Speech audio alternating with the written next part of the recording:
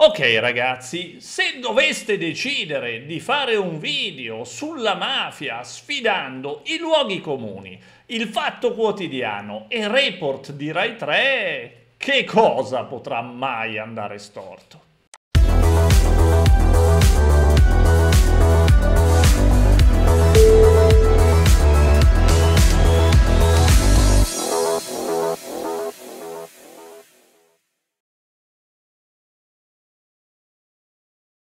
Iniziamo col dire che tutti nel mio comune combattono la mafia ed è per questo che alla manifestazione di domenica abbiamo partecipato in tanti. All'incirca eravamo 600. Sì, non moltissimi, ma eravamo quasi tutti amministratori locali, politici ed attivisti. Quindi un bel numero di persone. Quello che mancava in quantità l'abbiamo recuperato in qualità. Dai. Il problema vero e proprio inizia laddove si deve definire però la parola mafia. Per esempio, gli ecologisti ritengono che tutti coloro che ottengono un permesso per costruire siano mafiosi o affiliati alla mafia e questo naturalmente è un concetto sbagliato. Alcune giornaliste che collaborano con il Fatto Quotidiano dicono che gli appalti del comune sono gestiti dalla mafia, anche se questo non è vero. E anzi, l'unica volta che un rappresentante di un'associazione antimafia ha sostenuto questa tesi è stato condannato dal tribunale per diffamazione nei confronti dello sventurato impiegato che era stato additato come tale. E infine ho sentito un rappresentante di un'associazione antimafia famosissima e molto attiva, tanto a livello locale quanto nazionale, dire che prende le mosse per la sua attività da un servizio di report di Rai 3. Quindi, fermo restando che queste associazioni nella zona e anche a livello nazionale fanno delle cose belle, buone, certamente profumate, eh, quest'ultimo aspetto, cioè il fatto che basino parte della loro attività sul nostro territorio, su un servizio di report, beh, mi lascia alquanto perplesso. Intendo dire, Report è una trasmissione televisiva, non è un tribunale. E nel caso specifico, tanto Report quanto il Fatto Quotidiano vanno letteralmente in controtendenza rispetto alle decisioni prese da un giudice per le indagini preliminari.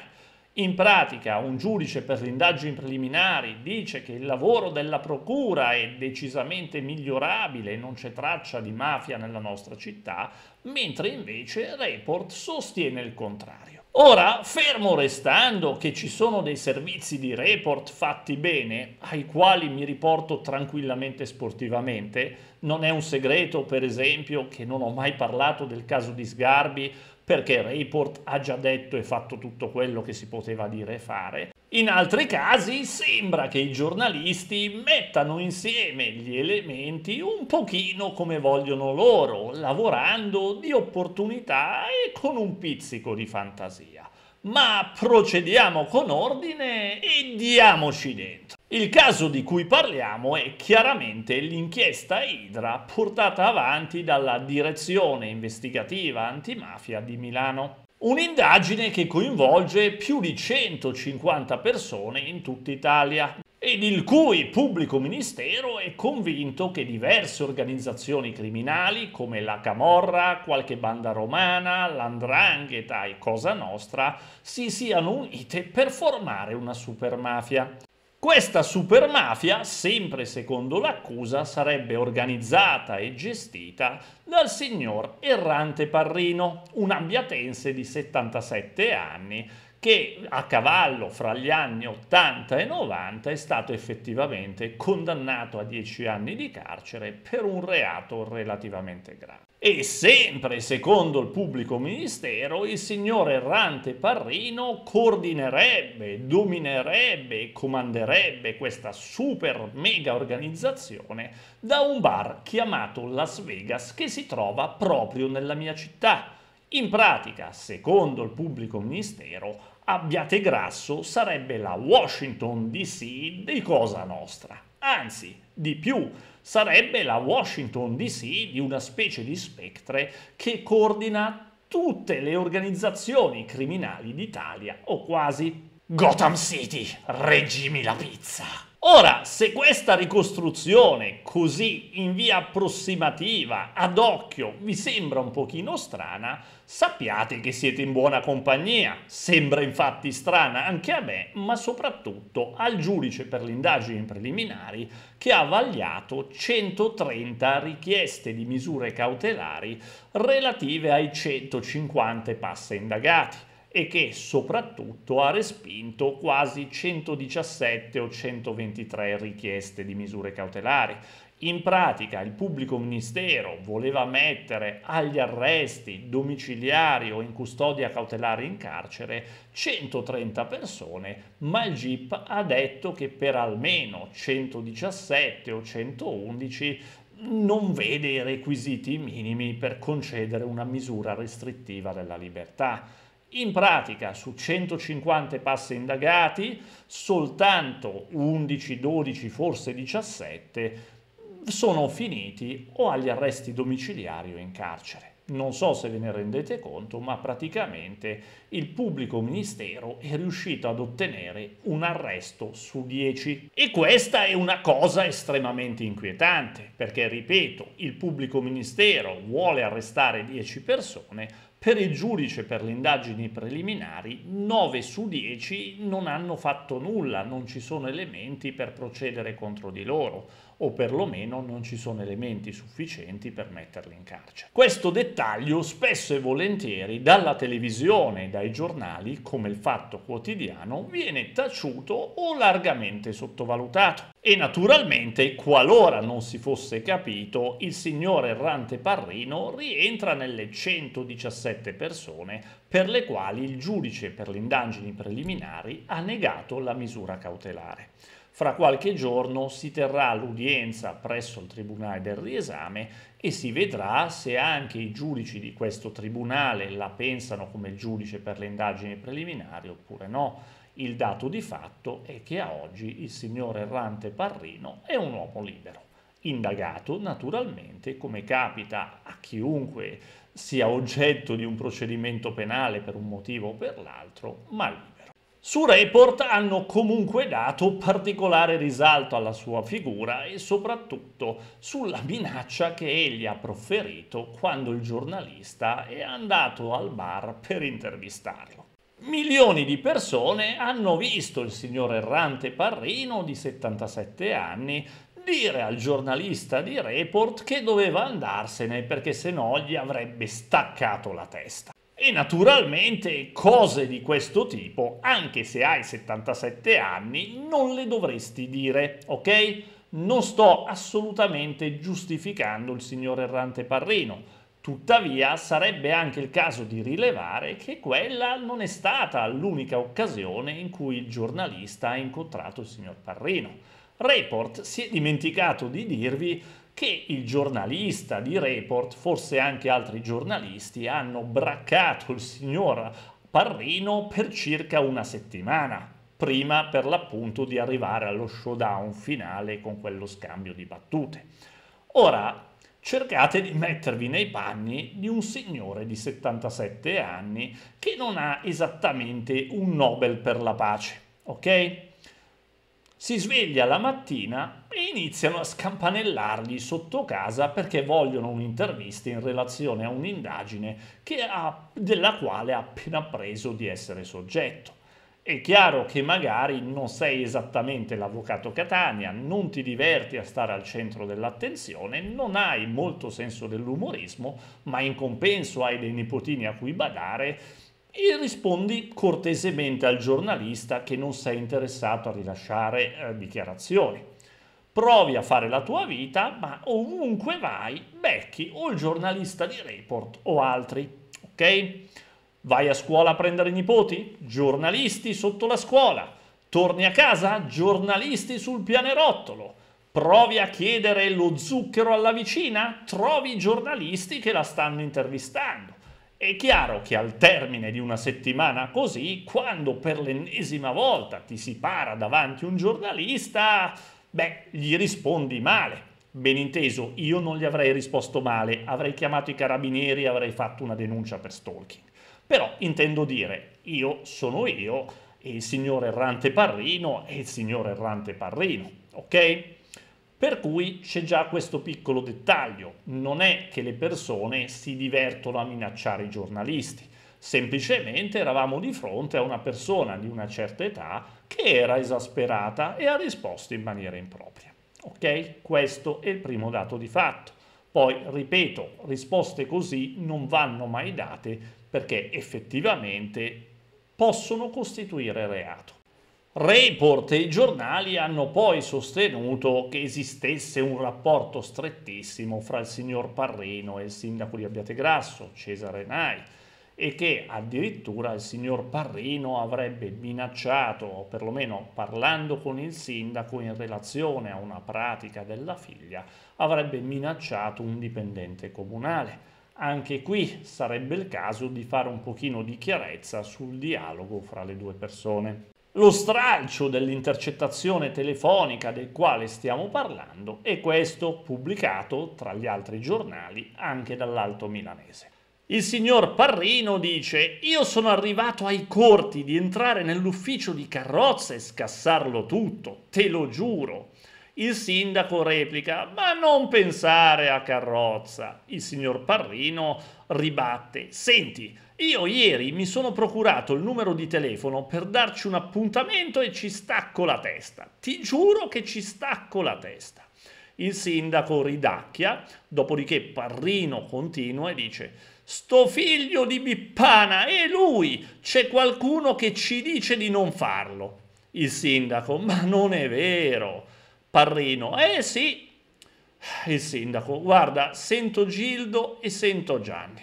Dai, vedo come muovermi. Che rottura di bipponi.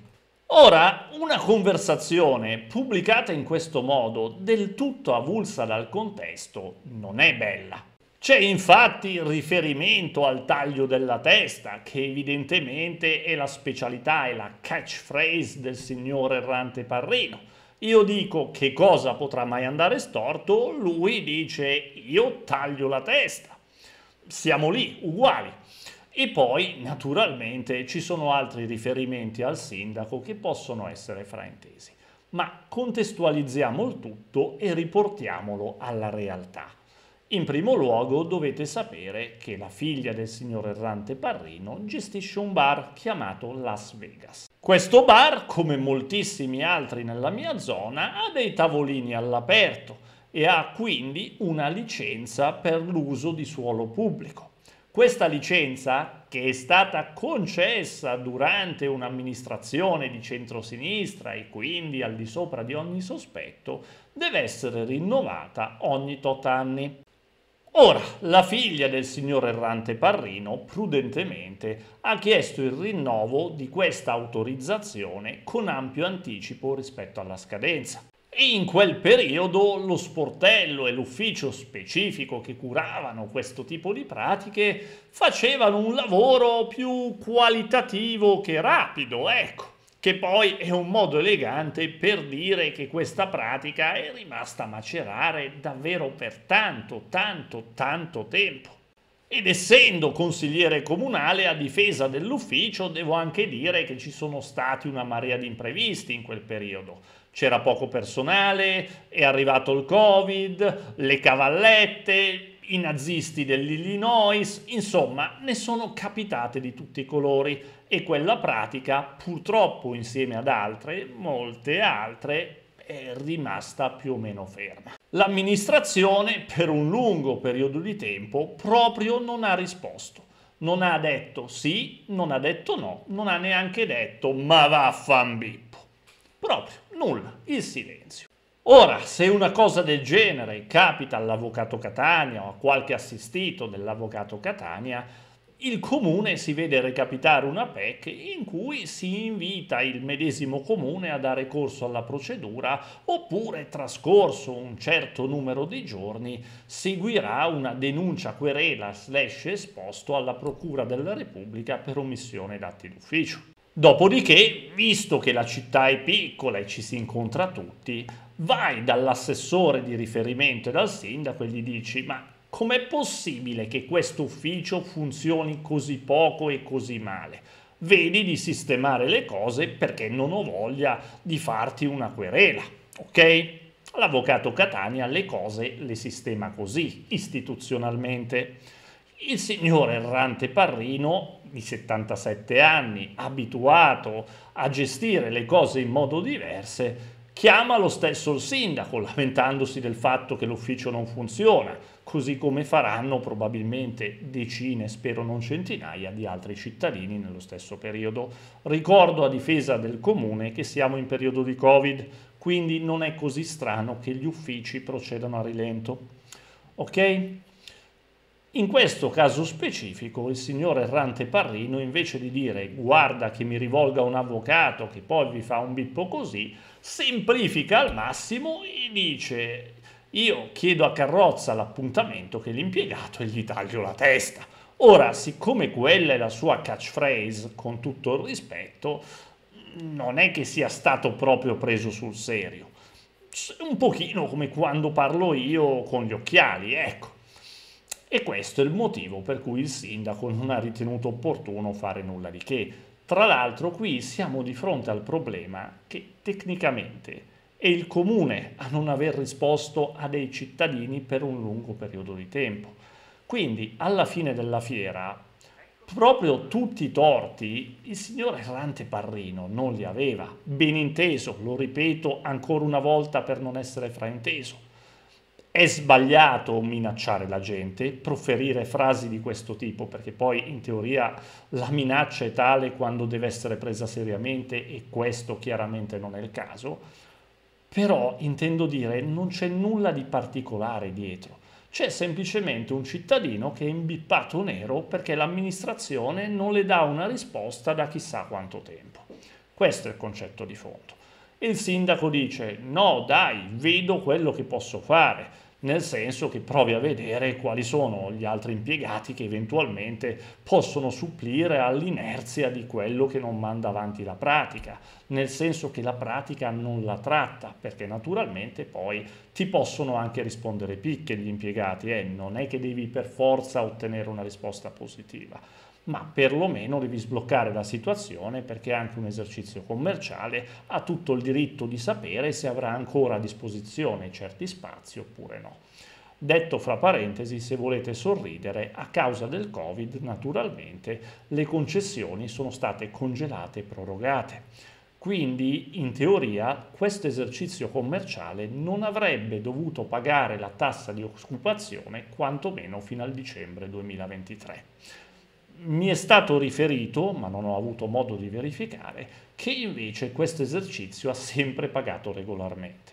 Ora, se davvero ha versato dei soldi extra, saremmo nella paradossale condizione in cui, ma neanche tanto, in cui il comune dovrebbe restituire delle somme. Ok?